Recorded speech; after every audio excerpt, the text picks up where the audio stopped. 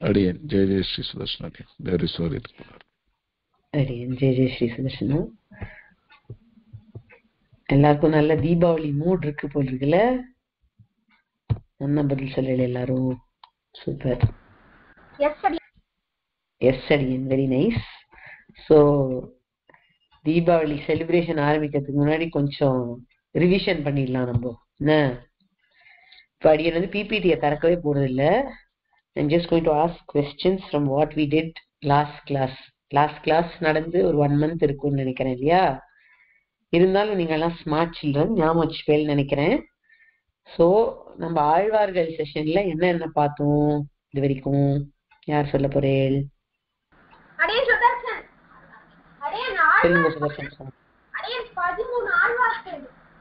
பத்- பதிமூணா?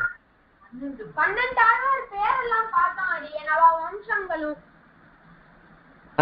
பன்னெண்டு ஆழ்வார்கள் பேர் பார்த்தோம். அப்புறம் அவளோட அம்சங்கள். அவளுடைய அம்சங்களா? அவ யாருடைய அம்சம் அப்படிங்கறத பார்த்தோமா.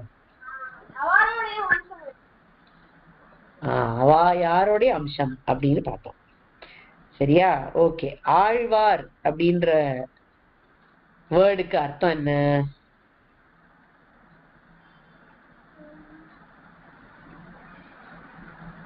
அடியேன் காயத்ரி பெருமாள் பக்தியில ஆழ்ந்தவா சூப்பர் பெருமாள் பக்தியில ஆழ்ந்தவா ஆழ்வார்கள் ஓகே ஆழ்வார்களுக்கு சான்ஸ்கிரிட் பேர் என்ன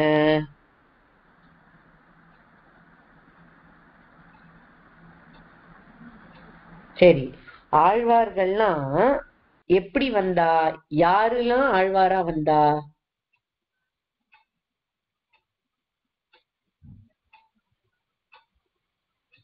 பெருமாள் முதல்ல நிறைய அவதாரங்கள் பண்ணார். பத்தி அவதாரம் கூர்மா யாருமா ஆஹ் திவ்ய ஆயுதங்கள். ஆஹ் பெருமாளோட திவ்ய ஆயுதங்கள் அப்புறம் திவ்ய ஆபரணங்கள் ஆழ்வார்களாக வந்தா. சோ என்ன ஆச்சுன்னா பெருமாள் வந்து நிறைய அவதாரங்கள் பண்ணிட்டு இருந்தார். மத்ஸ்ய அவதாரம் கூர்ம அவதாரம் அந்த மாதிரி. அந்த அவதாரங்கள்லாம் எதுக்கு பண்ணார்? எல்லாரும் நன்னா பக்தியோட இருக்கட்டும். எல்லாம் நல்லதும் வளரட்டும். கெட்டதெல்லாம் அழியட்டும். தர்மம் எல்லாம் நன்னா நிலச்சி இருக்கட்டும். அப்படிங்கிறதுக்காக அவதாரங்கள் பண்ணிட்டு இருந்தார். அந்த அவதார காரியங்கள்லாம் அதாவது அந்த அவதாரம் எதுக்காக அவர் பண்ணாரோ அதெல்லாம் வந்து ஓரளவுக்கு தான் ஃபுல்ஃபில் ஆச்சு. இன்னும் ரொம்ப சூப்பரா நடக்கல அந்த அவதார காரியம் எல்லாம் சோ பெருமாள் நினைச்சார் நம்ம வந்து பெருமாளா இருக்கோம். சோ நம்ம கொஞ்சம் டிஃப்ரெண்டா இருக்கும். மனுஷாவை காட்டிலும் பெருமாள் ரொம்ப டிஃப்ரெண்டோ இல்லையோ? அதனால நம்ம டிஃப்ரெண்டா இருக்கிறதுனால அவளுக்கு நம்ம சொல்றது புரியல போல இருக்கு. இவாள மாதிரியே சில பேரை இவாள மாதிரியே சிமிலரா இருக்கிற சில பேரை நம்ம அமுச்சு வைக்கலாம். அப்போ அவளுக்கு ஈஸியா புரியும் அப்படின்னு நினைச்சேன். இப்ப எப்படி கிளாஸ்ல வந்து சுதர்ஷன் சுவாமி காயத்ரி இவாள்லாம் ஆன்சர் பண்ணா. அவள்லாம் ஆன்சர் பண்ணது உங்களுக்கு இன்னும் ஈஸியா புரிஞ்சுது இல்ல அடியன் சொல்றதை விட அவ சொன்னா இன்னும் கம்ஃபர்டபுளா இருக்கு. சோ அந்த மாதிரி ஒரே குரூப்ல இருக்கிறவா பேசினா நன்னா புரியும் ஒருத்தருக்கு ஒருத்தர். அந்த மாதிரி நினைச்சுண்டு பெருமாள் யோசிச்சர் நம்ம சில பேர் அனுப்பலாம். நம்மளே போறத காட்டிலும் சில கிரேட் டிவோட்டீஸ சில சிறந்த பக்தாள அனுப்பலாம் அப்படின்னு நினைச்சார். சோ இந்த பக்தாள்னா மத்த மனுஷாளுக்கு உலகத்துல இருக்கிறவாளுக்கு சஜாத்தியர்கள் ஆயிட்டா. சஜாத்தியர்கள் அப்படின்னா என்னன்னா அவளோட ஜாதியிலே சேர்ந்தவா அவ குரூப்லயே சேர்ந்தவாளா ஆயிட்டா. சோ இந்த சஜாத்தியர்களா இருக்கிறதுனால அதே குரூப்ல இருக்கிறவாளா இருக்கிறதுனால இவாள்லாம் பேசினா நம்மளுக்கு எல்லாம் நன்னா புரியும் அப்படின்னு நினைச்சார். பெருமாள் வந்து விஜாத்தியன் ஆயிட்டார். அவர் வேற ஜாதி வேற குரூப் அவர். ஏன்னா அவர் பெருமாள் அவர் ரொம்ப கிரேட் அதனால அவர் நம்மளோட குரூப் இல்லையா? சோ அவர் பேசினா அவ்வளவு புரியல போல இருக்கு நம்மளுக்கு. அப்படின்னு பெருமாள் நினைச்சுண்டு இவாளெல்லாம் அனுப்பலாம் அப்படின்னு தீர்மானிச்சார். யார் அனுப்பலாம்? எந்த கிரேட் டிவோட்டிஸ் அனுப்பலாம்? அப்படின்னு கேட்டா இந்த திவ்ய ஆபரணங்கள் திவ்ய ஆயுதங்கள் இதெல்லாம் பெருமாள்கிட்ட இருக்கோ இல்லையோ? அதெல்லாம் அனுப்பிச்சு அவளெல்லாம் ஆழ்வார்களா அனுப்பலாம் அப்படின்னு தீர்மானிச்சார். சோ திவ்ய ஆயுதங்களும் திவ்ய ஆபரணங்களும் திவ்ய சூரிகளாக அவதாரம் பண்ணினான் ஓகேவா அதனால திவ்ய சூரிகள் அப்படிங்கிறது தான் ஆழ்வார்களுடைய சம்ஸ்கிருத திருநாமம். Sanskrit name of Alvar is Divya Suris ரொம்ப சீக்கிரத்துல உங்களுக்கு குவிஸ் எல்லாம் நடத்தப்படும். அந்த குவிஸ்ல இந்த மாதிரி கொஸ்டின்ஸ் எல்லாம் வரும். சோ அப்படி கொஸ்டின் வந்ததுன்னா உங்களுக்கு ஆன்சர் எழுத தெரியும். சரியா? சோ பெருமாளுடைய திவ்ய ஆபரணங்கள் மற்றும் திவ்ய ஆயுதங்கள் திவ்ய சூரிகளாக அவதாரம் பண்ணினா அந்த திவ்ய சூரிகள்லாம் பக்தியில ஆழ்ந்திருந்தா அதனால அவளுக்கு ஆழ்வார்கள்னு பேர் இருந்தது ஆழ்வார்கள் பன்னிரண்டு பேர். டுவெல் ஆழ்வார் சார்ந்தர். அந்த டுவெல் ஆழ்வார்ஸ் யாரு? யார் பேர் சொல்ல போறேன் சுதர்ஷன் காயத்ரி இவாளை தவிர வேற யாராவது ஆன்சர் பண்ணும் எல்லாரும் ஆன்சர் பண்ணும் சரியா? ஆஹ் அடியன். ராகவன் சுவாமி சொல்லுங்க. ஓகே. பொய்கை பொய்கை ஆழ்வார் பூதத்தாழ்வார். பேய் ஆழ்வார் திருமலிசை திருமலிசை ஆழ்வார் அம்மா ஆழ்வார் மதுரகவி ஆழ்வார் குலசேகர ஆழ்வார் ஆ. Periya Alvar. Alvar Thondaradippodi Alvar Thiruppan Alvar Thirumangai Alvar excellent super another person can you repeat யார் ரிப்பீட் பண்றேன்? ஆழ்வார்கள் திருநாமங்கள் ஸ்ரீகிருஷ்ணன் சொல்லலாமா? ஸ்ரீகிருஷ்ணன் சொல்லலாமா? சொல்லு. சொல்லுமா ஸ்ரீகிருஷ்ணன்? பொய் பேய் ஆழ்வார் பூரத்தாழ்வார்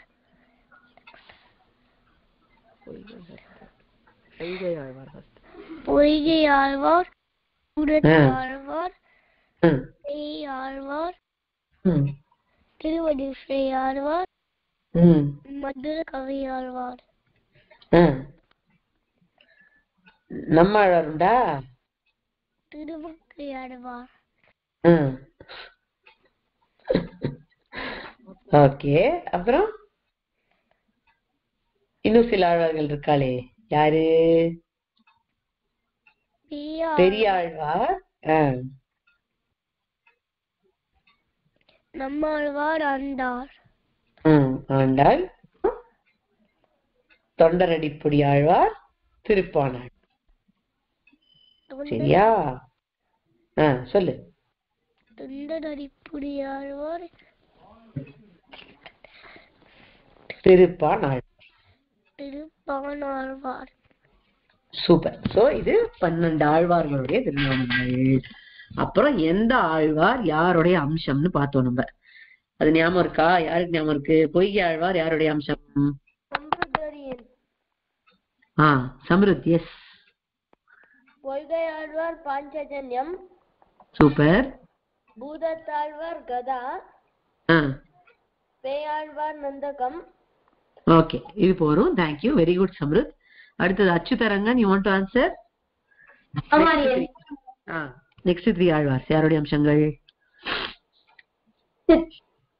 திருமணத்தை ஆழ்வார் சுதர்சன சக்கரா நம்ம ஆழ்வார் விசர்ஷேனர் ஆ, Madurai Alvar Ghumura super. Excellent next three Alvars யார் சொல்ல போறேன்? யாருமே ஆன்சர் பண்ண போறேன்?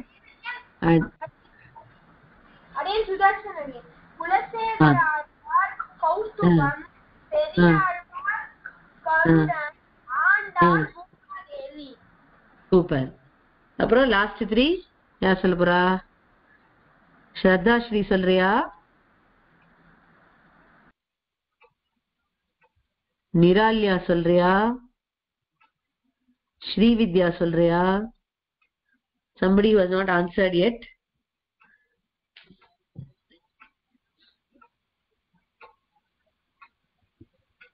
யாருமா சொல்ல போறேன் சரி ஓகே யாருக்கு தெரியுமோ சொல்லுங்க. ஆ சித்தரங்கம் சொல்றியா? ஆமாடியன் ஆ. தொண்டர் அடிப்படை ஆழ்வார் வைஜெயந்தி திருப்பான் ஆழ்வார் ஸ்ரீவத்சம் திருமங்கல் ஆழ்வார் தரங்கம். ஓ. Super. So that is what we did last class ஓகேவா இப்போ வந்து இன் கண்டினியூவேஷன் இன்னைக்கு வந்து ஆழ்வார்களுடைய திருநக்ஷத்திரங்கள் நம்ம கத்துக்க போறோம். சரியா? இப்போ ஃபர்ஸ்ட் ஆழ்வாரான பொய்கை ஆழ்வார் ஐப்பசி ஸ்ரவணத்துல அவதரிச்சார். ஐப்பசி ஸ்ரவணம் ஐப்பசி திருவோணம் அப்படின்னு சொல்லுவோம். இப்ப நடந்துட்டு இருக்கிற மாசம் தான் ஐப்பசி மாசம். அதாவது between 15th October to 15th November அந்த டைம்ல எப்ப திருவோண நட்சத்திரம் வருதோ அது பொய்கை ஆழ்வாருடைய திருநட்சத்திரம் நெக்ஸ்ட் பூதத்தாழ்வார் திருநக்ஷத்திரம் ஐப்பசி அவிட்டம். பேயாழ்வாருடைய திருநட்சத்திரம் ஐப்பசி சதயம். திருவோணம் அவிட்டம் சதயம் இதெல்லாம் வரிசையா வர நட்சத்திரங்கள். வரிசையா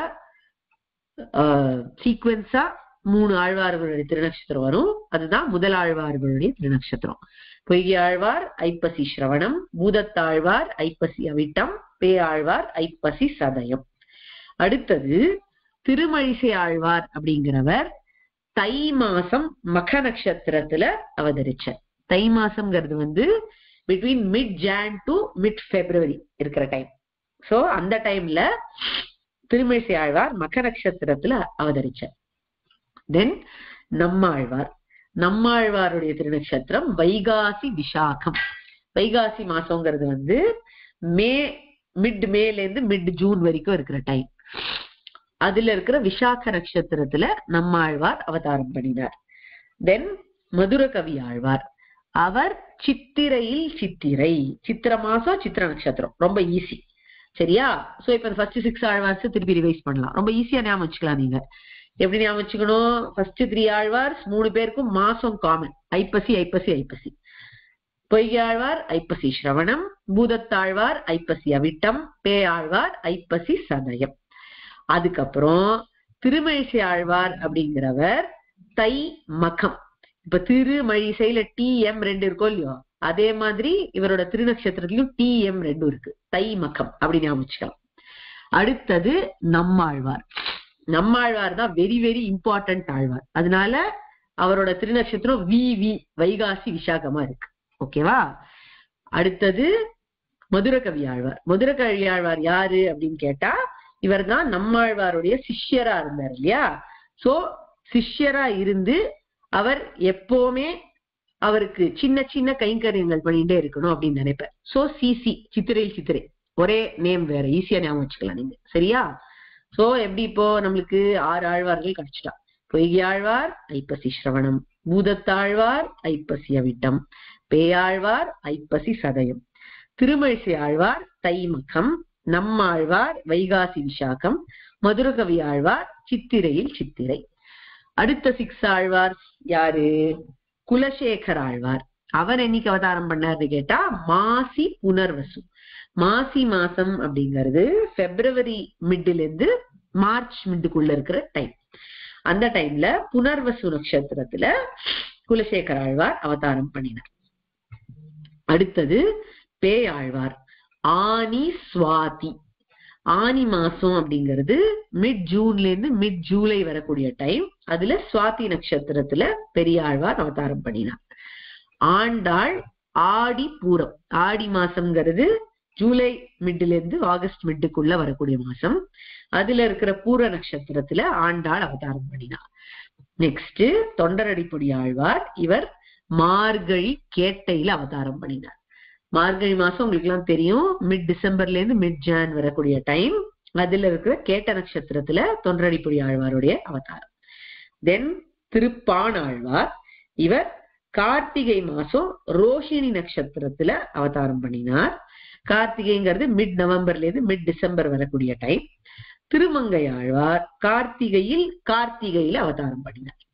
ஓகேவா சோ இப்ப நெக்ஸ்ட் சிக்ஸ் ஆழ்வார்ஸ எப்படி ஞாபகம் வச்சுக்கணும்? குலசேகர் ஆழ்வார் மாசி புனர்வசூல அவதாரம் பண்ணினார். இந்த குலசேகர் ஆழ்வாருக்கு ஃபேவரட் பெருமாள் யாருன்னா ராமர். சோ ராமருடைய நட்சத்திரத்திலே அவருக்கு திருநட்சத்திரம் புனர்வசு சரியா? தென் பெரியாழ்வார் ஆனி சுவாத்தியில் அவதாரம் பண்ணினார். பெரியாழ்வார்ங்கிறவர் யாருடைய அம்சம்? கருடனுடைய அம்சம்.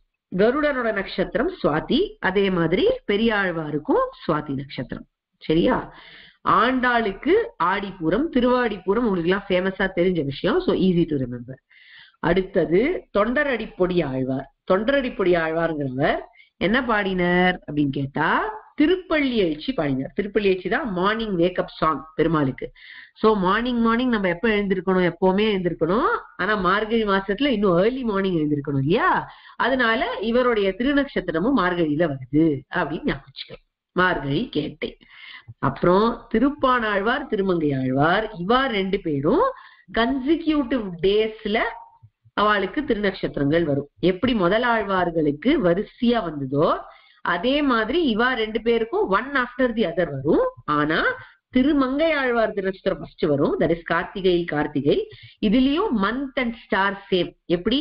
மதுரகவி ஆழ்வார்க்கு சித்திரை சித்திரை இருந்ததோ அதே மாதிரி திருமங்கை ஆழ்வார்க்கு கார்த்திகையில் கார்த்திகை. அந்த கார்த்திகையோட நெக்ஸ்ட் டே தான் ரோஹிணி சோ திருமங்கை ஆழ்வாருடைய திருநட்சத்திரத்தோட நெக்ஸ்ட் டே திருப்பானாழ்வார் திருநட்சத்திரம். சரியா? சோ இது சின்ன குழந்தைகளுக்கு கொஞ்சம் டைம் எடுக்கலாம் பை ஹார்ட் பண்ண. Take your time but know it by heart சரியா? நோ அடியன் would want three kids to volunteer to read out these names யார் வர போறீங்க மூணு பேர். இது வரைக்கும் ஆன்சர் பண்ணாதவா வாங்குமா இது பார்த்துதான் படிக்கணும் so it's easy Sriraman. Okay ஆ.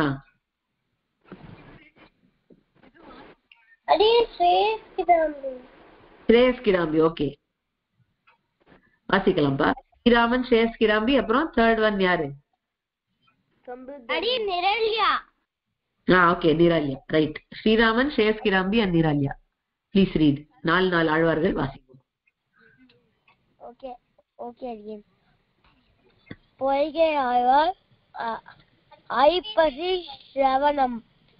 பூதத்தாழ்வார் ஐப்பசி அ- அவிட்டம் ம் ஆழ்வார் ஐப்பசி சதயம் ம் திருமங்கை ஆழ் திரு மழிசை ஆழ்வார் திருமொழி திருமொழிசை ஆழ்வார் ம். தை மகம் தை தை மா மகம் தை மகம் ஆ தை சூப்பர் நம்பாழ்வார் வைகாசி விசாகம் மதுரகவி ஆழ்வார் சித்திரை குலசேகர ஆழ்வார் மாசி பசு பெரியார் பெரியாழ்வார். அனிசாசி. அப்புறம் நிராலியா வாசிக்கிறியா ஆ அடியன் ம்.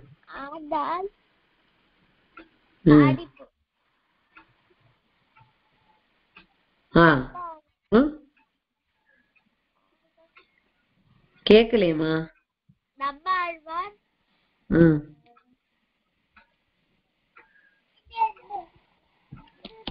அம்மா ஆழ்வாரா? தொண்டரடி பொடி ஆழ்வா லாஸ்ட் ஃபோர் படிக்கணுமா? ஆண்டாள் ஆடிப்புறம். அப்புறம்? ம். மார்கழி கேட்டை. வாழ்கழி கெட்டை. சூப்பர். ம்.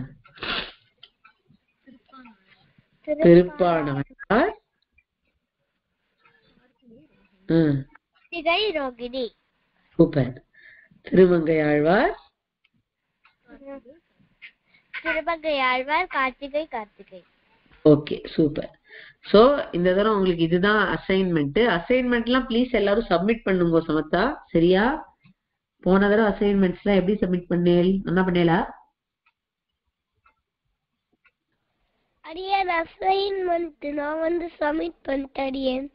சப்மிட் பண்ணிட்டேலா? வெரி குட் இப்போ கிளாஸ் ரூம் ஏல எயிட் அசைன்மெண்ட்ஸ் தான் வந்தது போன தடவை. கிளாஸ் ரூம் பில டுவெல் தான் வந்தது. இதுல யார் சப்மிட் பண்ணிருக்கேளோ அவள்லாம் குட் யார் சப்மிட் பண்ணலையோ ப்ளீஸ் சப்மிட் பண்ணுங்க. ரொம்ப சீக்கிரத்துல உங்களுக்குலாம் வந்து பாயிண்ட் அண்ட் ரிவார்ட் சிஸ்டம்லாம் வரப்போறது. So you have to be regular with every thing assignment கொடுத்தா சமத்தா சப்மிட் பண்ணும் சரியா? ஸோ இன்னியோட அசைன்மெண்ட் இதுதான்.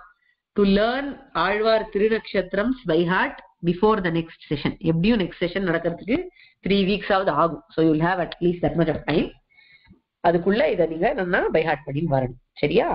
நோ வில் கோ ஃபர்தர் இந்த தமிழ்ல இதே டேபிள்ல கொடுத்திருக்கோம். ஓகே இப்போ இந்த திவ்ய சூரிகளான ஆழ்வார்கள் எந்த பாசுரங்களை பாடினாலோ அதுக்கு திவ்ய பிரபந்தம் அப்படின்னு பேரு. இந்த திவ்ய பிரபந்தம் அப்படிங்கிறது நாலாயிரம் இருக்கு. நாலாயிரம் பாசுரங்கள் இருக்கு. அதனால அதுக்கு நாலாயிர திவ்ய பிரபந்தம் அப்படிங்கிற பேரு வருது. இந்த திவ்ய பிரபந்தங்கள்ல நிறைய ஊர்களை பத்தி பாடுற ஆழ்வார்கள். ஃபார் எக்ஸாம்பிள் ஸ்ரீரங்கம் திருப்பதி காஞ்சிபுரம் திருவள்ளூர் இந்த மாதிரி நிறைய ஊர்களை பத்தி பாடுறா. நூத்தி எட்டு ஊர்களை பத்தி பாடுறா. அந்த திவ்ய பிரபந்தத்துல எந்த ஊர்கள்லாம் பாடப்பட்டிருக்கோ திவ்ய பிரபந்தத்துல எந்த ஊர் பேர்லாம் வருதோ அந்த ஊர்கள் அந்த தேசங்கள் எல்லாம் திவ்ய தேசங்கள். ஓகேவா சோ இப்ப நம்ம என்ன கத்துட்டு இருக்கோம்? திவ்ய சூரிகள்னா ஆழ்வார்கள்னு கத்துட்டோம். திவ்ய சூரிகள் பாடின பாசுரங்கள் திவ்ய பிரபந்தங்கள்.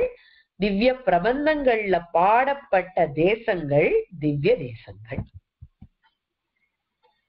இந்த நாலாயிரம் திவ்ய பிரபந்தம் இருக்கு அப்படின்னு சொன்னேன் அத வந்து நாலு பார்ட்ஸா டிவைட் பண்ணலாம். ஃபோர் போர்ஷன்ஸா டிவைட் பண்ணலாம். எப்படி டிவைட் பண்ணலாம்? நாலாயிரம் இருக்கு இல்லையா? அதனால முதல்ல முதல் ஆயிரம் அப்படின்னு ஒரு செக்மெண்ட் அதுல nine hundred and forty seven pasurams இருக்கு. அடுத்தது இரண்டாம் ஆயிரம் அப்படின்னு ஒரு செக்மெண்ட் அதுல thousand one hundred and thirty four pasurams இருக்கு. மூணாவது செக்மெண்ட்டுக்கு திருவாய்மொழி அப்படின்னு பேரு. அதுல thousand hundred and two pasurams இருக்கு. நாலாவது செக்மெண்ட்டுக்கு இயற்பா அப்படின்னு பேரு. அதுல eight hundred and seventeen pasurams இருக்கு. ஸோ இது ஏன் இந்த மாதிரி கரெக்டா தௌசண்ட் தௌசண்டா ஏன் பிரிக்கல அப்படின்னு கேட்டா ஒரு ஒரு ஆழ்வார்களும் ஒரு ஒரு கவுண்ட்ல பிரபந்தங்கள் பாடியிருப்பா. For many reasons many prabandhams are group together under one segment அது என்னங்கிற டீட்டெயில்ஸ் தான் நீங்க செகண்ட் இயர் போனா புரிஞ்சுக்கலாம். இப்போதைக்கு அந்த பிரபந்தங்கள் எப்படி அமைஞ்சிருக்கோ அதோட வகையில அந்த மெத்தட்ல இந்த கிளாசிபிகேஷன் பண்ணியிருக்கான் okay so just remember these counts ஆழ்வார்களுடைய திருநட்சத்திரங்கள் கத்துக்கணும். அதே மாதிரி நாலாயிரம் திவ்ய பிரபந்தத்துடைய டிஸ்ட்ரிபியூஷன் கத்துக்கணும். இதுக்கப்புறம் இப்ப உங்களுக்கு ஒரு இன்ட்ரெஸ்டிங் ஸ்டோரி நம்மாழ்வாருடைய ஸ்டோரி அதை நம்ம இப்ப பார்க்கலாம். ஒரு நிமிஷம்.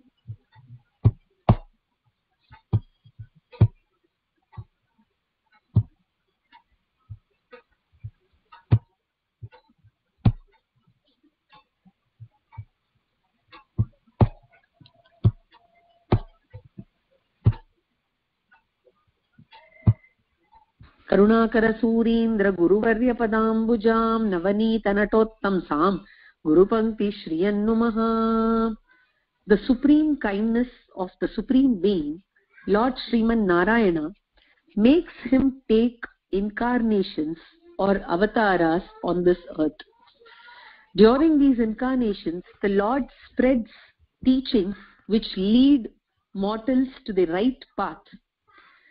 The lord not only chooses to come down himself, but also involves all his divine retinue in this work.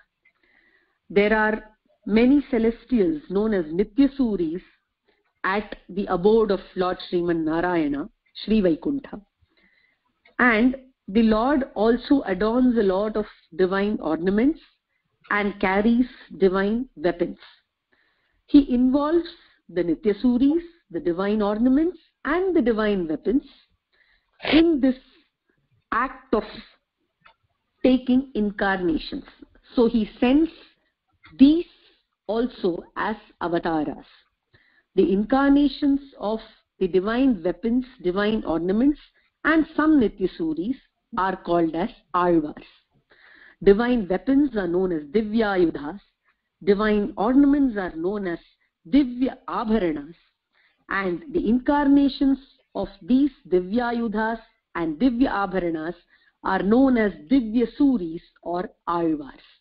The term Alvar refers to the one who is deeply engrossed, ஆழ்ந்தவர் Alvar. What are these people deeply engrossed in? They are deeply engrossed in devotion to the Lord and they come down to earth to show the path of devotion, which is the right path to follow in life. Alvars are 12 in number, and the main amongst these 12, the head of Alvars is known as Nammalvar. Nammalvar is an incarnation of the commander-in-chief of Lord Narayana's army known as Vishwaksena.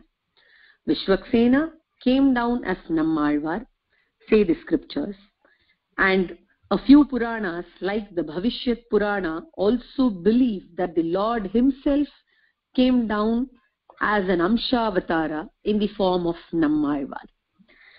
The story of the birth of Nammalvar traces back to the start of this Kali Yuga.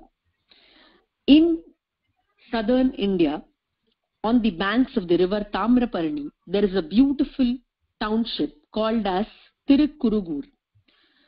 There was a devoted person named Kari in this place who got wedded to another devoted lady named Udayanangai. For some time, Kari and Udayanangai were childless, so they went to Tirukkurungudi, which is present near the southernmost tip of India, almost, and sought the Lord Nambi for a child. The Lord very graciously appeared in the dream of Kari and told him that he himself would come as an Amshavatara to this couple.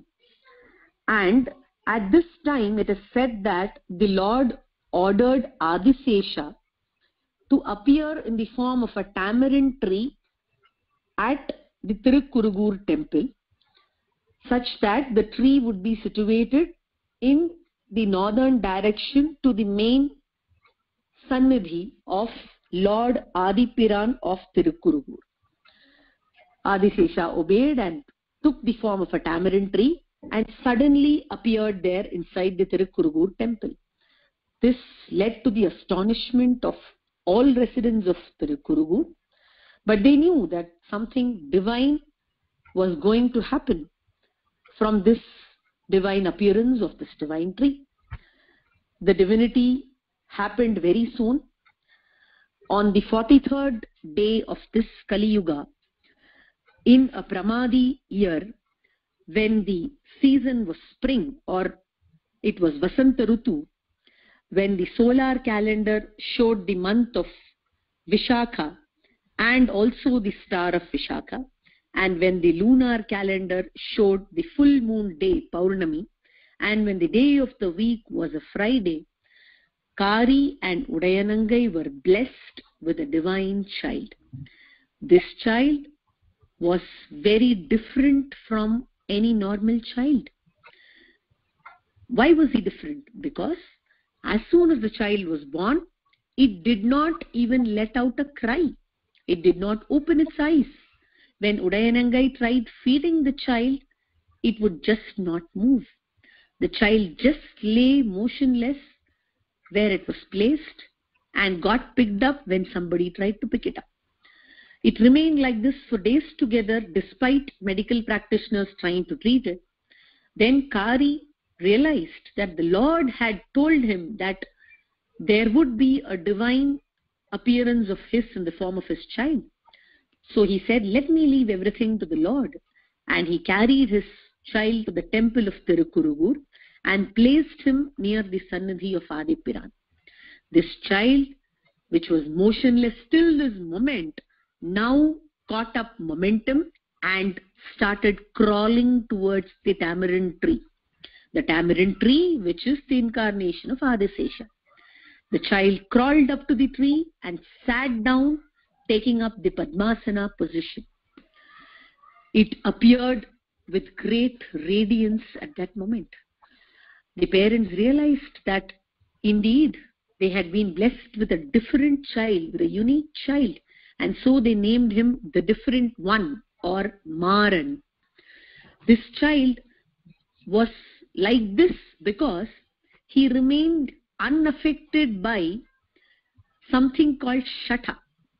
It is said in the scriptures that a child in the womb of a mother is all knowing in the sense it has the knowledge of its previous births and a lot more. But when the child comes in contact with a particular kind of breeze called as shata, a vayu called as shata, all this knowledge or jnana is gone and the child becomes totally ignorant about anything.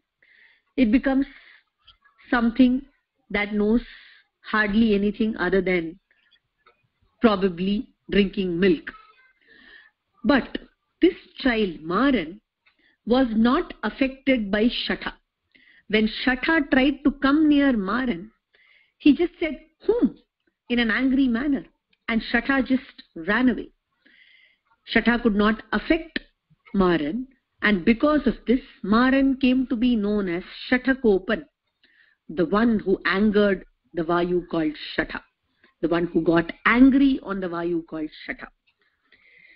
So thus, Shatakopa sat under the tamarind tree with great radiance on his face in Padmasana, having a Jnana Mudra on the right hand, placing his left hand on the lap, having his head and neck absolutely straight and sat motionless like a picture perfect lamp. Like this, he sat for days together. And goddess Lakshmi saw this from Sri Vaikuntha and she ordered Vishwaksena to go and give teachings of mantras, that is mantropadesha, to Shatakopa. Shatakopa himself was an incarnation of Vishwaksena, but here he had to be initiated through an acharya or a guru, and Vishwaksena again took up the role of the acharya of Shatakopa. So Vishwaksena, on the order of Lakshmi Devi, came down and gave the Upadesha of mantras to Shatakopa, and his radiance on the face increased because of this. After this, 16 years passed with Shatakopa being in the same position under the tamarind tree, also known as the Tirupuli Alvan. After 16 years, there happened an incident in North India which has an interesting relation to this story. At Ayodhya, there was another Alvar named as Madhurakavi Alvar who suddenly saw a radiance appearing from the southern direction. This was a radiance which was observed in bright daylight. Despite sunlight being there, this was distinctly visible. And this radiance continued to be there even after sunset. Like this, the radiance was observed by Madhurakavi Alvar for days together, and he got curious about the source of this radiation. So he started walking in the direction of this radiance.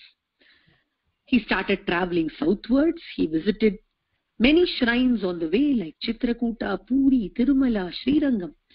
And he still found that the light was coming from further south.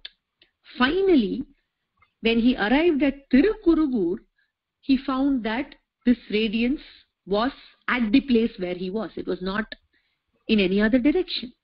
So he inquired with the people of Tirukurugur as to whether the place had any miraculous happenings. People told him about Shatakopa being under the tamarind tree. Madhurakavi Alvar went to the tamarind tree, saw this divine form, and felt like asking a question.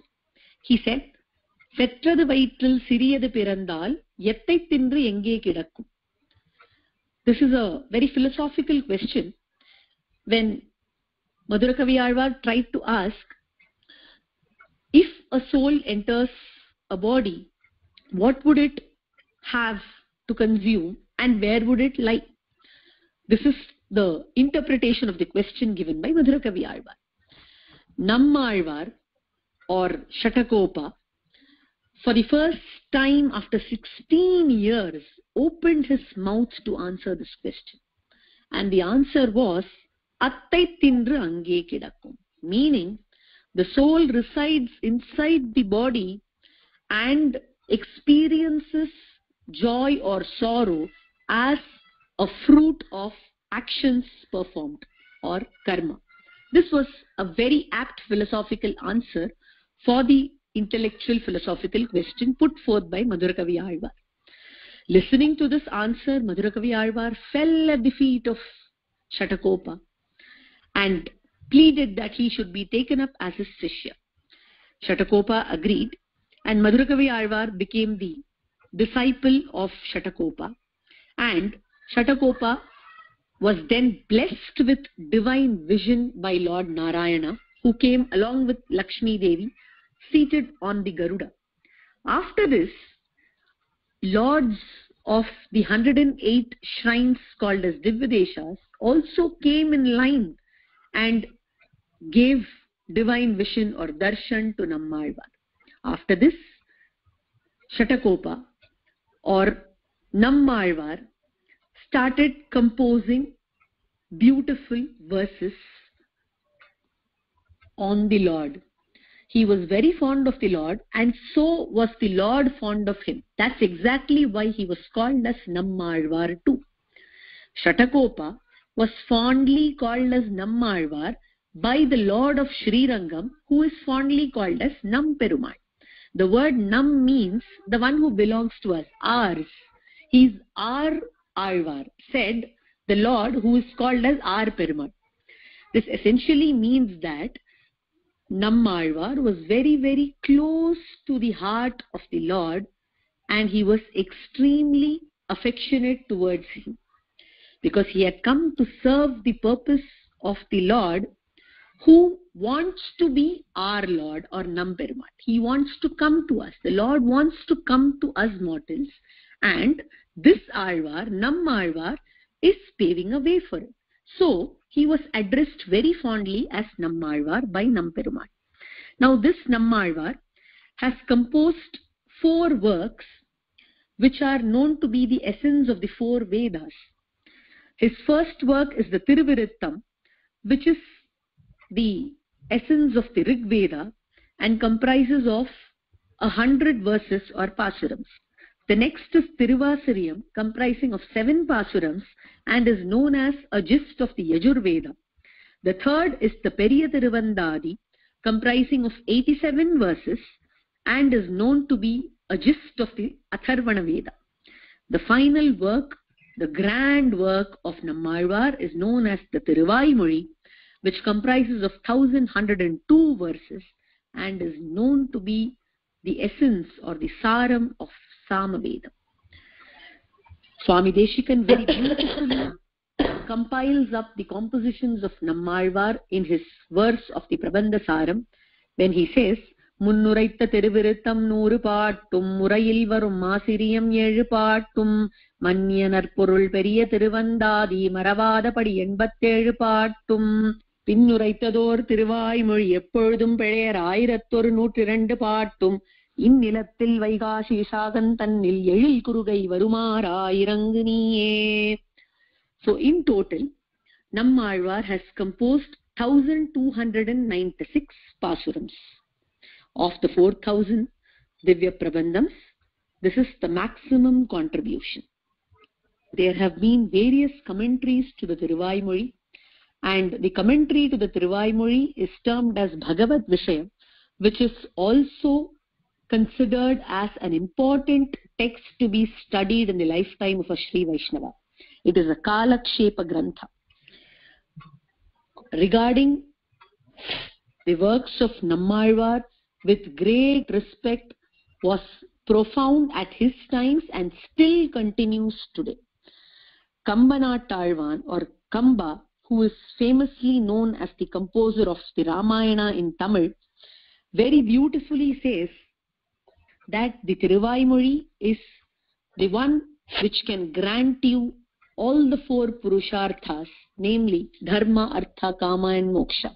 Essentially, it can grant you anything that you desire from mundane things up to eternal happiness, that is moksha.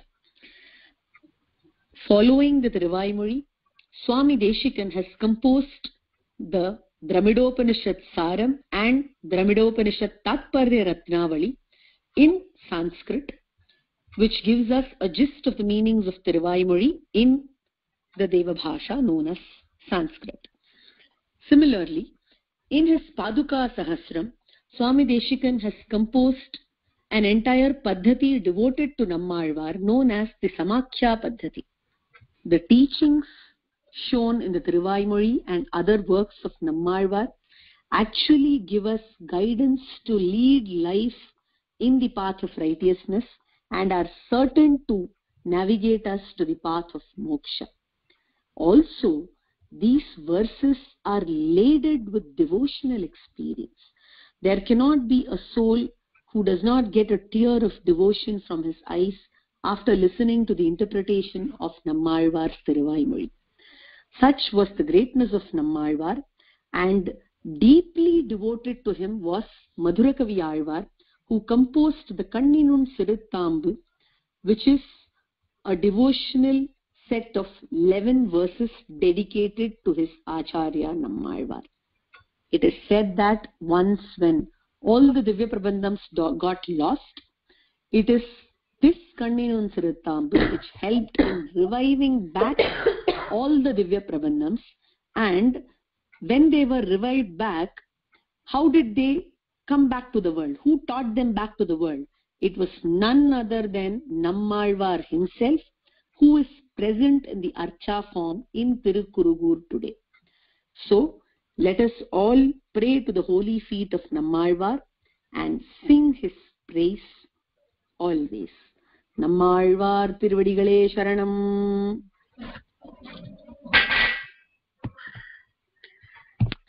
तृणाकरसूरीन्द्र गुरुवर्यपदाम्बुजाम् நவநீதன அடியன் கேட்டேளா குழந்தைகளா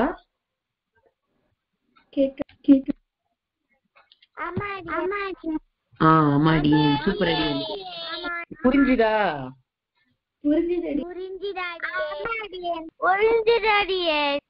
super அடியன் புரிஞ்சுதுன்னு சொல்லிட்டா இப்ப அடியன் கேள்வி கேட்க ஆரம்பிச்சிருவேன். உங்களுக்கு ஏதாவது டவுட் இருந்தா கேளுங்க. அதுக்கு முன்னாடி டவுட் இல்லைன்னா அடியன் கேள்வி கேட்கிறேன். சரியா? டவுட் இல்ல வெரி குட் அடியன். சூப்பர். சோ இப்போ நம்மாழ்வார் அப்படிங்கிறவர் எந்த ஊர்ல இன்கார்னேட் பண்ணினார்? எங்க அவதாரம் பண்ணினார்?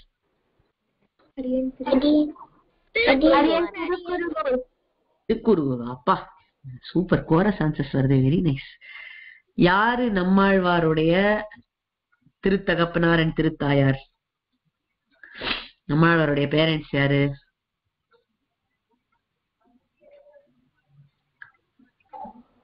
அரியன் உதவநங்கை Kari very good Kari and Udayanangai very nice so அந்த குழந்தை பிறந்த உடனே என்ன ஆச்சு? குழந்தை அழுதுதா?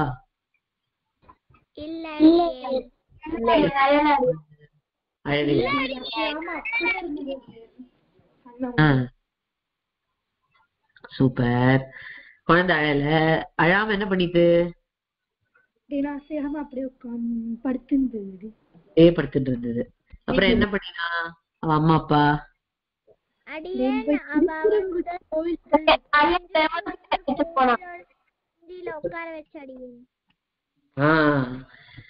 கோவிலுக்கு அழிச்சுட்டு போனா கோவிலுக்கு அழிச்சுட்டு போன உடனே? புளிய மரத்துல போய் உட்கார்ந்துட்டு அடியேன். கடகடன் தவழ்ந்து போய் புளிய மரத்துல போய் உட்காந்துட்டு அந்த குழந்தை. சூப்பர் சோ புளிய மரத்துல உட்காண்ட உடனே அவன் அம்மா அப்பா என்ன நினைச்சா? இந்த குழந்தைக்கு என்ன பேர் வைக்கலாம்னு தோணித்த அவளுக்கு மாறன்னு பேர் வைக்கலாம் ஏன் ஆஹ் ஏன் மாறன்னு பேர் வைக்கணும்னு தோணித்து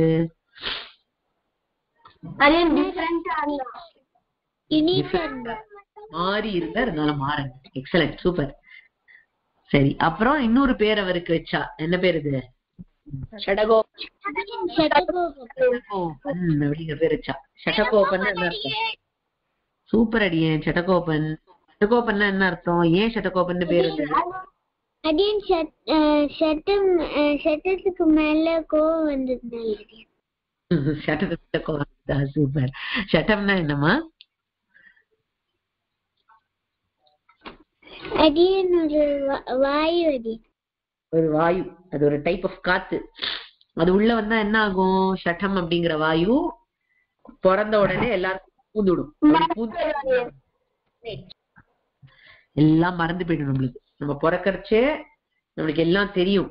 ஆனா இந்த ஷட்டம்ங்கிற வாயு வந்து உள்ள பூந்த உடனே எல்லாம் மறந்து போயிடும். ஆனா நம்மாழ்வார் என்ன பண்ணார்? அந்த சட்டத்தை பார்த்து ஹம் அப்படின்னு சொன்னார். கோச்சிண்டு. அதனால அது ஓடி போயிடுது. சோ நம்மாழ்வாருக்கு எல்லா ஞானமும் இருந்தது. அவருக்கு ஷட்டோகோ ஷட்டகோபன்னு பேர் இருந்தது ஓகே. அப்புறம் அவர் பாட்டுக்கு உக்காண்டே இருந்தார் அந்த புளிய மரத்துக்கு இல்லையா?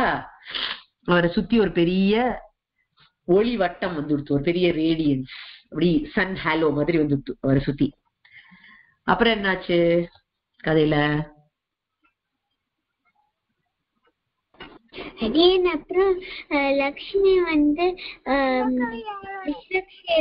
வந்து ஆஹ், சொல்லி மந்திர சொல்லி தரத்துக்காக அனுப்பிச்ச அடியன். அது ஆஹ், அதுக்கப்புறம் சொல்லி தந்தோடனே அப்புறம் ரேடியன்ஸ் இன்னும் ஜாஸ்தி ஆச்சு. அடியன். சூப்பர் எக்ஸலண்ட் அப்புறம் என்னாச்சு? நெக்ஸ்ட் எபிசோட் என்ன நடந்தது? கதையில? அதுக்கப்புறம் அயோத்தியால வந்து மதுரை மதுர கவியவருக்கு அந்த ரேடியன்ஸ் தெரிஞ்சது. அது அதுக்கப்புறம் அதை ஃபாலோ பண்ணிட்டே போனா அப்போ திருக்குறுக்கூர்ல வந்து அங்கதான் இருந்தது. அந்த பீப்புள் கிட்ட கேட்டா இந்த நம்ம ஒரு புளிய மரத்துக்கே இருக்குன்னு சொன்னா அப்போ அங்க போய் பார்த்தா அந்த நம்மாழ்வார் பார்த்தோன்னே கொஸ்டின் கேக் கொஸ்டின் கேட்டு அதுக்கப்புறம் சூப்பர். என்ன கொஸ்டின் கேட்டார்? என்ன ஆன்சர் சொன்னார்? யாருக்காவது புரிஞ்சுதா?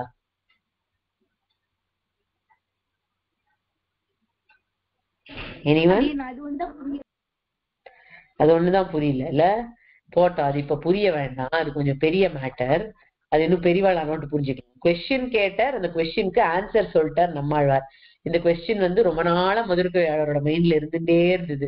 யார் ஆன்சர் பண்ணுவா? யார் ஆன்சர் பண்ணுவான்னு தேடிட்டே இருந்தார் அவர். அந்த கொஸ்டினுக்கு கரெக்டான ஆன்சரை சாட்டிஸ்ஃபைங்கான ஆன்சரை நம்மாழ்வார் கொடுத்துட்டார்.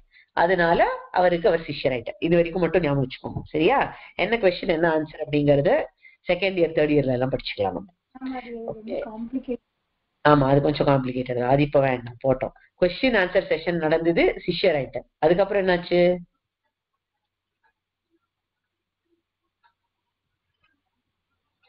அதுக்கப்புறம் என்னமாச்சு? மதுர கவி அவரோட சிஷ்யா மாறிட்டாரு. சிஷ்யரா மாறிட்டார். அப்புறம் என்ன பண்ண ஆரம்பிச்சார்? நம்மாழ்வார் என்னெல்லாம் பாசனம் சொல்றாரோ அதெல்லாம் எழுதுவார் முதிரகவி ஆழ்வார். ஆஹ் கணினன் சிறுத்தாம் எழுதினார். கணினன் சிறுத்தாம்ங்கிறது நம்மாழ்வாரை பத்தி முதிரகவி ஆழ்வார் எழுதிய ஒர்க்கு சரியா? அதுக்கப்புறம் என்ன ஆச்சு ம்?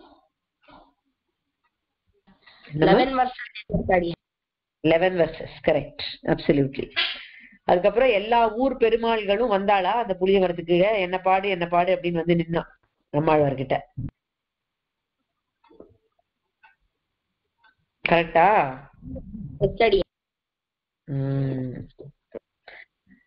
அதுக்கப்புறம் என்னாச்சு? நம்மாழ்வாருடைய காம்போசிஷன்ஸ் எல்லாம் வந்தது. எத்தனை பிரபந்தங்கள் பாடியிருக்கார் நம்மாழ்வார்? நாலு அடி. நாலு. அந்த நாலு four very nice anybody knows the names of the four prabandhams Thiruvaimozhi Thiruviruttam Thiruvaimozhi Thiruviruttam okay அடுத்த ரெண்டு என்னது? இயற்பால வரும். ஆனா அது என்னது? பேர் என்னது? திருவாசியம் ஆ, பெரிய திருவந்தாதி. ஓகே சோ ஃபோர் பிரபந்தம்ஸ் பண்ணினார். அந்த ஃபோர் பிரபந்தம்ஸும் ஃபோர் வேதம்ஸ் உடைய சாரம். நாலு வேதங்களுடைய சாரமா நாலு பிரபந்தங்கள் பண்ணினார். இல்லையா?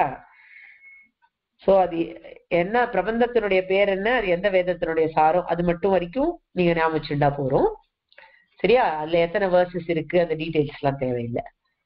சோ அதுதான். அதுக்கப்புறம் பிரபந்த சாரம் பாசுரம் அப்படின்னு ஒண்ணு வந்தது அதுல. அதாவது சுவாமி தேசிகன் நம்மாழ்வாரை பத்தி பாடின பாசுரம். அதுவும் உங்களுக்கு இந்த வருஷம் இல்ல. Next year when you will learn Prabandha Saram you can learn that so இவ்வளவுதான் நீங்க இந்த ஸ்டோரியில ஞாபகம் வச்சுக்கணும். உங்களுக்கு நல்லா ஞாபகம் இருக்கு.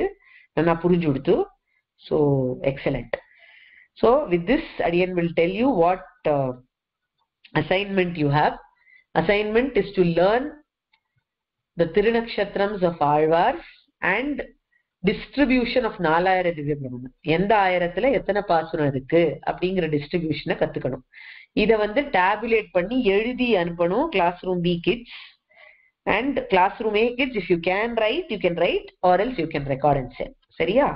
And today is the twenty second இல்லையா? You can submit the assignment by the third of November சரியா? அண்ட் ப்ளீஸ் சப்மிட் ஏன்னா நவம்பர்ல இருந்து உங்களுக்கு அப்படின்னு முன்னாடியே சொன்ன மாதிரி பாயிண்ட் சிஸ்டம் ரிவார்ட் சிஸ்டம்லாம் இருக்கு.